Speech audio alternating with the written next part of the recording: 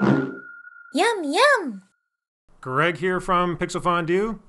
Pie menus are a fantastic asset to speeding up your workflow, right? We all use pie menus. You probably use control space to change the viewport, camera, right, left, up, down, right?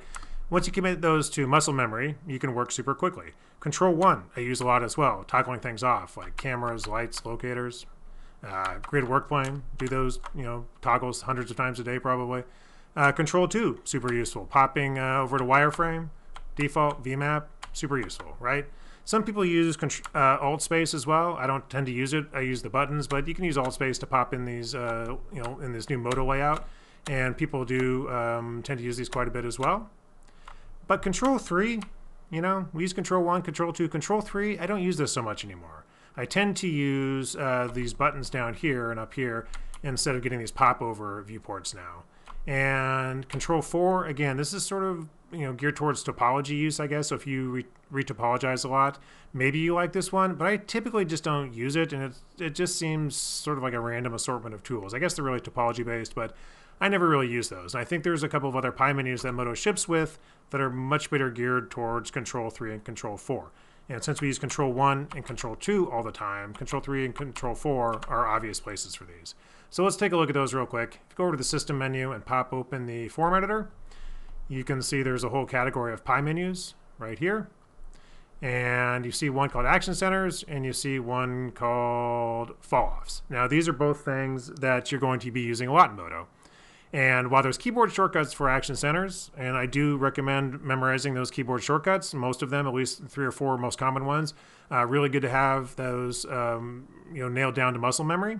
It's useful to have these as a pie menu as well. So you can preview this form here, and you can kind of see what's going on. Here's the you know local, automatic, screen, element, uh, selection, origin. Those are all super useful. Same with fall offs, right? Um, clear fall offs, vertex map, linear, cylinder, radial airbrush screen element those are all super useful. Although i, did, I rarely use airbrush. Air, airbrush is kind of a neat parlor trick and maybe some of you guys use it but i use soft selection far more often. In fact i'm guessing this pie menu was made prior to soft selection being uh, an available fall off that was implemented implemented in modo so we're actually going to change that one.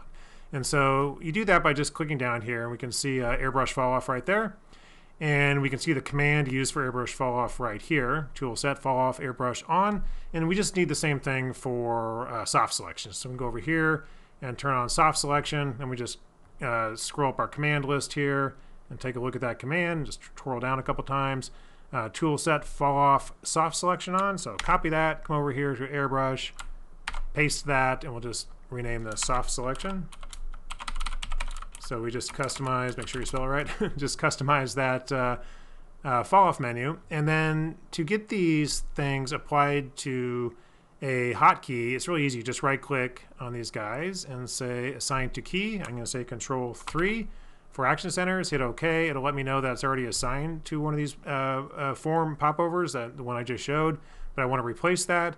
And fall offs, I want to put that at control uh, 4. So assign to key, control 4. And now I think, um, same thing, say OK to override. Now I think we're just, we have some much more useful looking uh, uh, hotkeys here. So can, I'm just going to clear my fall offs here with Control 4.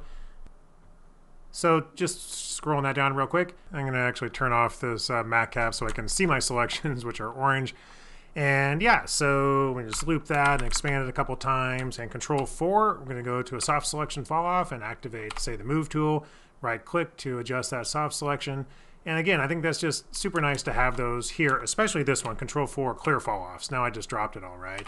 For Action Center, let's do, this is sort of a common one. We got a cube here, and then sometimes you'll get a situation where you have this. Maybe I'll just put a quick uh, loop in here like this, and I want to move this up the plane here. So again, control three, we'll go to element and we'll pick our element and uh, now we just move it along that um, element we just picked there, that polygon. So, and we can always go back to uh, any, you know, whatever automatic, which is the default for a lot of these tools if we wanted to use the planar handles. But anyway, it's it's great to learn the keyboard shortcuts of all those action centers, but it's also nice to have them right here as a pie menu, and especially the fall offs, being able to clear fall offs. Those are much more useful than the uh, default ones in Control 3 and Control 4, in my opinion. And to make sure you lock this into MODO, make sure you go up to File and Config Save to save those keyboard shortcuts into your config. So the next time you load up MODO, they will be there. Yum, yum!